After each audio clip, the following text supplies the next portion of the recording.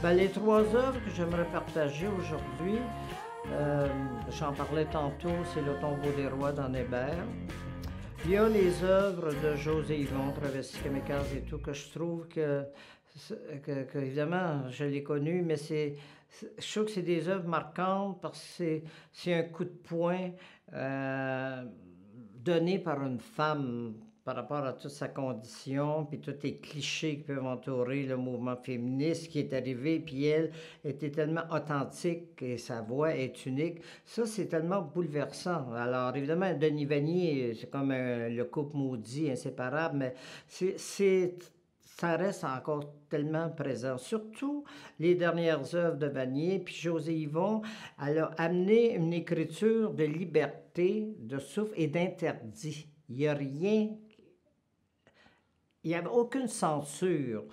Et sa vie était, euh, c'est son œuvre, son œuvre, c'est sa vie, c'est indissociable.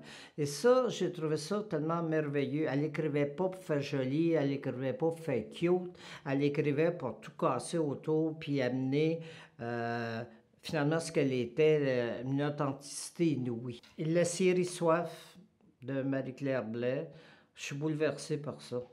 C'est une épopée, une fresque unique avec une signature euh, au niveau du style, de la ponctuation, de, de cette démesure, de partir d'un petit truc de Key West qui est une petite île, mais évidemment qui est à l'extrême des États-Unis.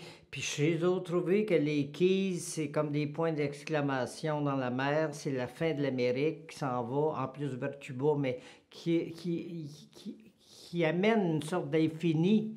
Pourtant, c'est petit, Key West. Évidemment, il y a Mingway qui a vécu là. Fait que c'est comme une petite île mythique. Et elle, à partir de toute la faune, euh, de la place et de tout retransmettre l'Amérique au niveau de ses paradoxes, de ses contradictions, de ses folies, de ses quêtes, de ses utopies. Tout est là. Puis et on est obligé dans ce livre-là de se regarder en face avec toutes nos euh, contradictions et c'est ça qui est, je trouve, c'est un tour de force inouï.